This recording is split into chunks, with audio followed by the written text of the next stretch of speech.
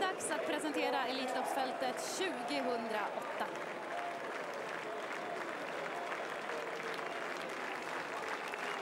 Cup som Michel Basil sitter i sulken. Fabrice Soloa tränare. Det var den som imponerade mest i. Ja, och eh, jag skulle inte alls bli förvånad om eh, Basir till och med nöjer sig med att sätta sig i dödspositionen eh, utanpå eh, stallkamraten Noah Söderfors. Det kommer då den om Margareta Uggla, delägare. Going Kronos. Lutfi Colgjini tränar och kör. Det optimala vore väl om han fick en löpning i rygg på Exploat att andra ytter. Ja, det är väl ungefär eh, det som måste hända och det scenariot det måste bli för att Going Kronos ska ha en chans att besegra fransmännen. Men får han det där på loppet i ryggar eh, och får gå sista biten, då ska det finnas en möjlighet i alla fall. Han är lättad i balansen fram. Är det det tror jag är, är, positivt. Det är klart att det, det finns en gräns för hur mycket man kan lyfta en häst, men, men jag tror att han kommer att göra ett bra med den nya balansen. En som överraskade en del i försöket var den amerikanske gästen Tida Inafto som eh, tränas av Peter Kleinhans, körs av Lucolette. Det här kan vara en liten, liten rysare. Ja, man vet ju inte om eh, de har ytterligare en polett i den här hästen, men eh, den har gjort det bra så här långt. Jag tror inte att eh, vi ska räkna med att han har segerchans trots allt. Men det är bäst. I fjol var Chile Pirat trea i Elitloppet och bästa svenska deltagare Patrik Södervall har ställt i ordning i år också. Det såg ut att det fanns, kanske inte mycket, men en del krafter kvar i försöket. Ja, eh, det är ingen tvekan om det. Örjan Kihlström upptäckte tidigt på upploppet att han inte kunde bli bättre än trea och eh, därför körde han för fullt och sparade sig sin häst istället. Kan kanske nå en tredje, fjärde plats i år? Ja, kan bli bästa svenska igen. Jos Ferbeck har vunnit Elitloppet tidigare med Sirkavo Remington Crown. Här sitter han upp bakom Olga Dubivets. Jag vet inte vilket intryck hon gav egentligen i försöket. Ja, den där eh, katapulten från start eh, som skulle vara, det såg vi ingenting av. Så att eh, från det här utgångsläget så tror jag hon får jättesvårt. Steve Johansson tränar Sju Plantagenet som ska köras av Erik Adielsson. Var väl okej okay i försöket? Ja, det var väl bra att han gick till final, men det, visade inte på den kapacitet som krävs för en vinst här. Så då nummer åtta, Fighters Keepers, som har gjort det väldigt bra att ta sig överhuvudtaget till final. Startat från det sämsta utgångsläget.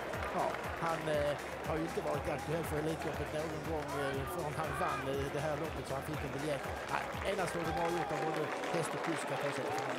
Och sen då, rättvist klart, så visar vi även nummer ett, de Feu, Fabrice Soloas andra häst i loppet. Björn Goop kör och det är väl inget att snacka om att Goop mycket gärna vill vinna Elitloppet. Det kommer inte bli någon läggmatch mot den andra Soloa-hästen. Han kommer naturligtvis att satsa på att ta ledningen och försvara sig så mycket det går och så länge det går. Det kommer, han kommer att leda länge, länge. Och det man ska ha med sig från försöket, Jessica, innan du får ordet, är att de Feu alltså sprang två tiondelar snabbare än Calf. Ja, när vi ändå är inne på Sådefö så kan vi fortsätta på ämnet. Nu har nämligen Olle Goop anslutit hit till studion. Eh, Olle, din son Björn ska köra Elitloppsfinal från spår 1. Hur känns det? Han har ju en bra häst och ett bra läge så att, eh, det ser riktigt intressant ut. Oa Defö var två tiondelar snabbare än andra försöksvinnaren Exploit Cup. Vad kan man dra för slutsatser av det egentligen? Eh, det kommer väl säga att eh, det är två jämna bra hästar. Det kommer väl avgöras en hel del löpningsförloppet och hur fort det kommer att gå från början. Det tror jag kommer att bli avgörande faktor. Har du pratat något med Björn här emellan? Nej, det har jag inte gjort. Jag tycker inte att det finns anledning för, det, för mig att göra det utan det är ju Sola som ska prata med Björn och, och säga vad han tycker. Men du kan ju alltid ge lite vettiga tips, eller? Ja, men han är inte så där eh, speciellt nervös utan han brukar kunna reda ut situationen bra på sin egen tänkande. Han är ju ganska rutinerad unge herr Goop. Vi ska bolla över till eh, Tony som har fångat någon intressant. Sådär, ja, jag har precis pratat med mannen som kommer gående här, Fabrice Soloa. Han är vänligen men bestämt, eh, vill inte vara med att lämna några kommentarer. Nu vill bara fullt koncentrerad på sina två hästar. Han säger att han har inte ändrat någonting sedan försöken. Han, eh, eh, Jean-Michel Basir har varit ute och joggat med Exploit Caf mellan för att hålla honom fräsch. Han har inte gett några, några körorder till sina kuskar. Han säger att det där är två små rutinerade här så det löser de själva. Jag pratade, jag fick faktiskt chansen att ta några ord med Jean-Michel Basir också och frågade honom en gång till om taktiken och då sa han du grabben, med den där behöver inte jag någon taktik. Så räkna med att hissa trikoloren. Oj, oj, det var kaxigt. Ja, men vi ska väl inte ge upp än, Margareta? Absolut Absolut inte. Alla lopp ska köras, så är det. Olle tror inte att Björn är speciellt nervös. Vad tror du om Ludde? Nej, jag tror inte att han är det heller faktiskt. Jag tror att han är oerhört fokuserad på sin uppgift, det är vad han är. Olle, vad tyckte du om Going Kronos i försöket? Jag tyckte han gjorde ett väldigt bra lopp. Han eh, fick ju gå en ganska tidig speed och höll ju ett bra tempo ända i mål så han gjorde en verkligt bra prestation. Eh, Åsa har eh, fångat Going Kronos skötare så där kan vi ju få en nära rapport.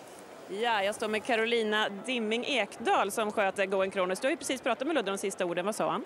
Han sa att allting var okej. Han var, kändes bra. Vad har hänt med Going sen försöket? Han har ätit, nej vänta, han har druckit såklart. Druckit och sen så har vi varit ute och gått och han har fått ta igen sig, vila lite. Och... Hur är hans humör? Det är på topp faktiskt. Han är glad och eh, avspänd är han så att han har stått laddat för sig själv i boxen här en stund. Du fick ju överta Going Kronos i vintras. Det här måste vara hur stort som helst för dig nu. Ja, det är helt otroligt. Verkligen eh, gått hur fort som helst. Det är jätteroligt. Är det. Du ser bara glad ut. Ja, vad kan man vara en dag som denna? Lycka till nu. Tusen tack. Har eh, sneglat på provstarterna. Bra intryck på Going Kronos och eh, Exploat Kaffan ser som vanligt rullig ut. Det ser ut som att galoppen ska komma när som helst. Viktigt att ha med sig också från Exploat Kaffs försöksseger, Thomas. Bommen fanns kvar i öronen, skygglapparna var inte neddragna. Nej, jag tror att Jean-Michel Basir, eh, som känner även Oiseau de Feu, han verkar säker på att han sitter på bakom den överlägset bästa hästen. Det återstår att se om han har rätt, men... Tror, du- ska- tror du att Exploat Kaff vinner? Ja, mitt intryck efter försöken är att eh, det är den slutliga vinnaren. Jag tror till och med att han kan vinna från eh, dödspositionen. Men får han gå en Kronos i ryggen så kan det ju bli väldigt, väldigt spännande. 30 sekunder kvar till bilen börjar rulla, Jessica. Ja, då hinner vi snabbt diskutera troligt loppscenario här. Vad tror du Margareta, hur blir loppet kört?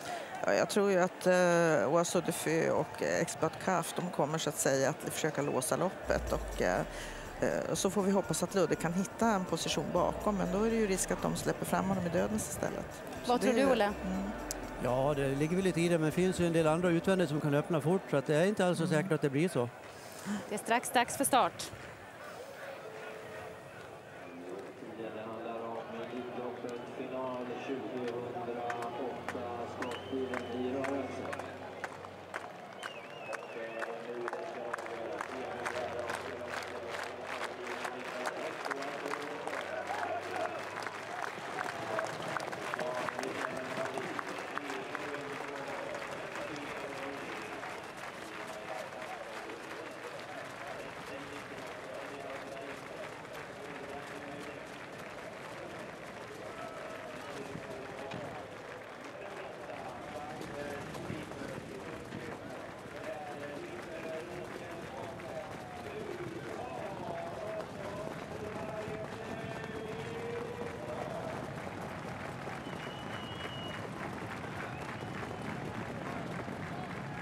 Går starten av Elitloppet 2008. Jämn inledning. Ett Oasode de tar emot tre Going Kronos utifrån fyra i Naftalk. Ett Oasode de fyra i Naftalk, pressar på utsidan, tre Going Kronos där bakom. Björn Goop, Luc Olett i kamp om täten. Olett har gett upp, han vill ha ryggledaren. Och då hamnar Going Kronos just nu i döden, sa det utanvändigt om sig sex Olga Dubivets. Och eh, två Exploat Kaff har just nu rygg på Going Kronos. Det var ett annorlunda eh, öppningsscenario. Ja, det såg ju plötsligt illa ut här för eh, Going Kronos, eh, men eh, i matchen Beck fick eh, klart för sig att han skulle bli släppt ner så valde han att gå fram istället. Han hade redan börjat backa i ett tidigare skedde. 1. Oasode i täten med 6. Olga Du Rubivets på utsidan 500 meter. 1.09,1. 4 i Naftalker i. Going Kronos har det andra ytter. 3 andra spår. 2 Exploat Caff. Fjärde ytter. Finders Keepers. Tredje invändigt Red Chili Pirat. Fjärde invändigt 7 Plantagenet. Då sticker Going Kronos. Lutfi Colgjini avancerar i den andra kurvan. Eh, Josh Verbeck tog upp tempot ganska kraftigt. Nu skakar han av sig Exploat Caff i alla fall. Men nu får han ju gå i dödens resten av loppet. Ja, och det har han ju visat. Där visar Going Kronos att han är sårbar. Det blir tuff löpning för honom. Oiseau de Feu, Björn Goop i täten med 600 meter kvar till mål av Elitloppsfinalen 2008. Exploat Cup på gång i tredje spår också. Ryggledaren sitter vid Naftalk 1000 meter, en 10,6. Oiseau de Feu, Goop rycker ner skygglapparna, rycker bommen ur hästens öron, leder halva längden före Going Kronos. Exploat Cup på gång i spåren, men det biter inte så där vidare bra för Jean-Michel Nej, hänger i tredje spår och det är jobbigt för honom nu, men han närmar sig ändå successivt. Han har ännu inte ryckt ner skygglapparna när bara upploppet återstår. Oiseau de Feu leder före Going Kronos. Här kommer Exploat Cup, Finders försöker också. Och Azore Fö, Going Kronos, Exploat Cup. Och Azore Fö har fortfarande kommandot. Här kommer Exploat Cup. Och Azore Fö, Exploat Cup. Det kommer att bli dubbelt frans, det kommer att bli dubbelt Soloa. Det kommer att bli Jean Michel Basiri igen. Exploat Cup vinner Elitloppet. Och han gör det på ett oerhört imponerande sätt. Bästa hästen vann, det är bara buga bocka. Ja, det är ingen som helst tvekan om det. Ytterligare fick vi, eh, en gång fick vi se ett fantastiskt upplopp eh, och han, eh, ja, han är en sån krigare den här hästen och fick ju i och för sig ge allt den här gången men så fort han kan gå. Vi kan konstatera också att Red Chili Pirat snålt körd av Kihlström blev bäste svensk med mycket, mycket krafter kvar. Exploat Cup före Oiseau de Feu, sen eh, Enough Talk och Red Chili Pirat. Dubbelt till Fabrice Solois alltså, Tony. Ja, nej, det var imponerande att det, var, att det blev eh, dubbelt falskt. Men vi hade ju det lite grann på känn också i och med att, då, att Goen Kronos fick en så tung löpning som han fick. Eh, nu då Tony? Tony! Well, uh, congratulations. Thank you. How does it feel right now?